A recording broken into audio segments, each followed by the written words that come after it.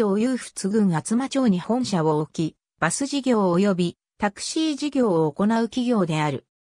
元は、早北鉄道という名の鉄道事業者であったが、鉄道廃止、社名変更を経て、現在に至る。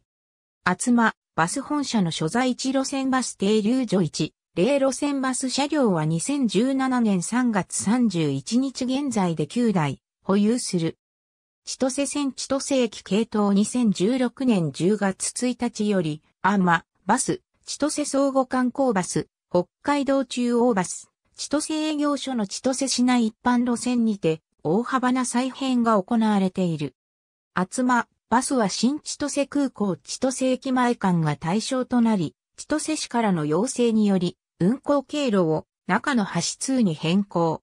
西木町十字街と本町二丁目停留所が廃止された。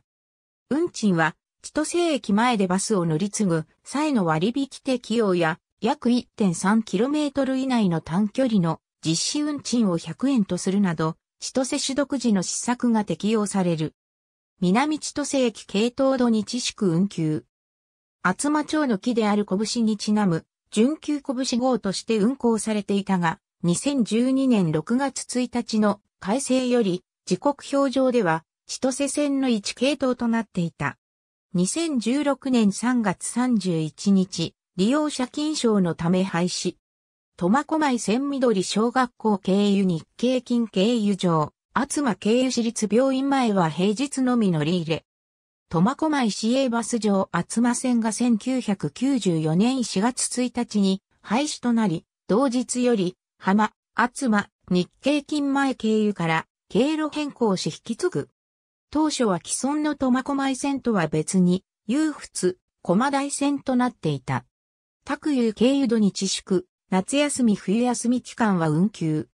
沼の単線土日祝、年末年始は運休。厚間町による厚間高校通学支援の一環として2017年1月、新設。全校生徒の半数以上を占める苫小牧市からの通学は乗り継ぎが必要であったが、沼の単線新設により乗り継ぎなしで通学できるようになった。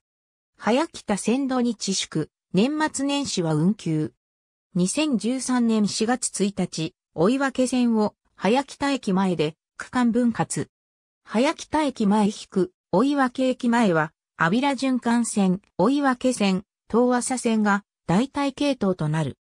追分線としての運行当時は、追分駅前発の一部の便は、早北駅前にて、苫小牧線に接続し、乗り継ぎ割引が適用されていた。向川線土日祝全便運休。厚間高校線土日祝と厚間高校急行日、運休。浜厚間行の厚間大橋から、浜厚間は校舎の見取り扱い。拳の湯線土日祝全便運休。アビラ循環線、追分線、東朝線土曜、日曜、祝日、年末年始は運休。追分駅前早北駅前、早北駅前引く、東朝駅前の区間便あり。2013年4月1日、厚間、バス追分線を廃止し、アビラ町内循環バスと統合する形で設定。厚間バスの他の路線バスとは異なる運賃形態を設定し、厚間バスの回数券、定期券は利用できない。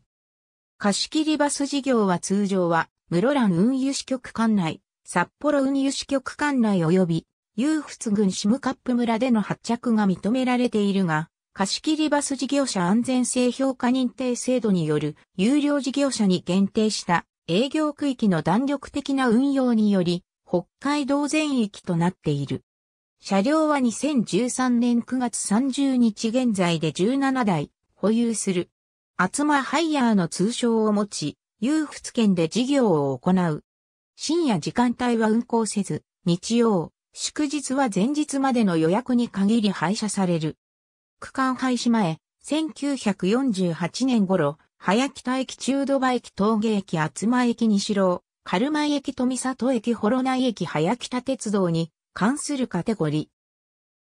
ありがとうございます。